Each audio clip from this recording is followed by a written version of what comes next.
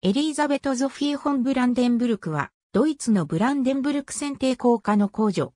ブランデンブルク選定校、ヨハン・ゲオルクと、その3番目の妻で、アンハルト公、ヨアヒム・エルンストの娘であるエリーザベトの間の第六子、三女として生まれた。父にとっては6番目の娘である。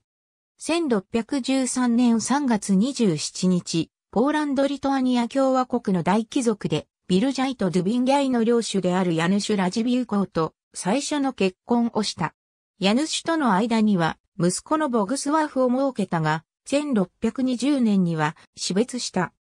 1628年、エリーザベト・ゾフィーは自らの家父財産であるリヒテンベルクの町と城をバイロイト公領を治める同母兄のブランデンブルク・バイロイト辺境博クリスティアンに売却した。リヒテンベルクの所領は、夫の家主が1617年に、貴族のバルデンフェルス家から買い取って、妻に与えたものだった。エリーザベト・ゾフィーは1628年2月27日に、ザクセンラウエンブルク構成し、ユリウス・ハインリヒと再婚した。夫妻には、息子のフランツ・エルトマンが生まれた。エリーザベト・ゾフィーは1629年に死去。フランクフルト・アンデアオーダーの聖母マリア教会に葬られた。ありがとうございます。